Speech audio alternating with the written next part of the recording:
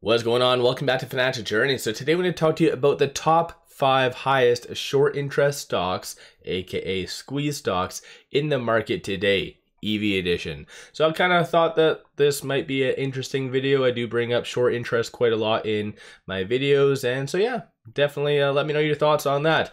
Kicking it off right in, uh, or I guess with stock number five, this is only NASDAQ and New York Stock Exchange, just on FYI. But starting off with stock number five, surprisingly, it is Rivian. Over the last one year, it is down 36.56%, 2024 down 62.87%. But Right now, 19.36% of the free float is being shorted. Utilization is 64.53. Short score is 72.63. So the higher the number, the higher the likelihood of a squeeze happening. And then cost to borrow average is 1.27%. And then as a grand total of that 133.66 million shares being shorted, that works out to be $1.11 billion worth. So very significant stuff. And just to put it in perspective, as you can kind of see, shorts have really started to double down. So it is currently sitting at all-time high short interest numbers. So let me know your thoughts on that. Moving on to stock number four, that is right here. So Nikola, I've never really covered that under this channel or in general, but ticker is NKLA over this last one year down 26.82% and in 2024 it is down 23.97 based off of this short interest is 19.42% 241.66 million shares overall are being shorted obviously i'm not really bringing this aspect up but this is what happened on Tuesday. So essentially, shorts did increase 4.37 million shares, but still moving on.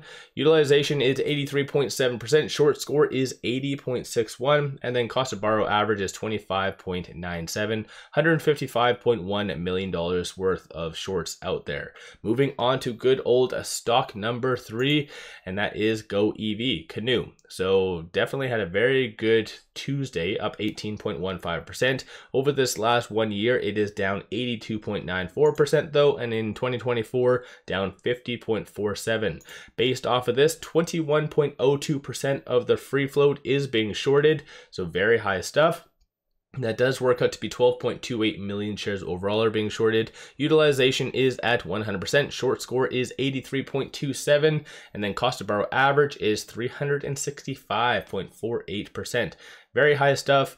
And then as far as the overall dollar value, roughly about $31 million in shorts um, in Canoo. So let me know your thoughts on that. Moving on to good old stock number two, that is a Faraday Future. I do cover this one under my other channel, Trending Stocks.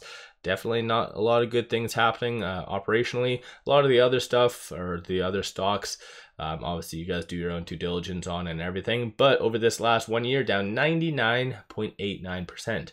So I think that's a very clear indication things have not been going all that well. In 2024, it is down 90.49%. But despite that, though, 28.4% of the free float is being shorted, and that works out to be 10.82 million shares overall are being shorted. Utilization is 96.68%, short score 75.47 as a grand total, there's about $780,000 worth of shorts. So of course you can kind of tell just the float is relatively low for this, but cost of borrow average, or I guess, sorry, going back to here, uh, just the market cap is very low, not the float. But cost per average is 18.33%. But moving on from here, stock number one, so the most heavily shorted stock out there based off of the short interest percentage is good old Lucid Group.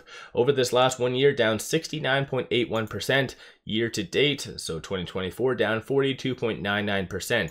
As it stands, 31.83% of the free float is being shorted. That works out to be 281.9 million shares overall are being shorted. Utilization is 100%, short scored 93.15. Cost to borrow average is 41.85%, and roughly $683 million worth of shorts is out there. So let me know your thoughts on the top five squeeze stocks or I guess EV edition, which of them do you currently own and why do you think that, for instance, in Lucid's case, they are doubling down to kind of this more of a degree than Nikola, for instance, and Faraday. So why do you think that this is happening? I did review a lot of these, so as you can kind of see, this is the top EV stocks based off of market cap.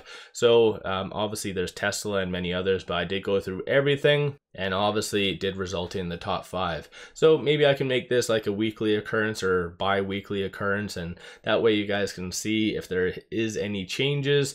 NIO barely missed it, uh, so I think there's is roughly about 14-15% and then Polestar is like 10% and many others out there. So let me know your thoughts. Don't forget to hit that thumbs up and subscribe. One final thing, make sure you guys definitely take advantage of this promo. Simply sign up for a new account, throw $100 at it, and they give you seven fractional shares equivalent about $35 total value. Pretty good return on investment for just throwing $100 at a new account. Take advantage of this. Link in the description below and also comments. With all that said, appreciate all of you watching.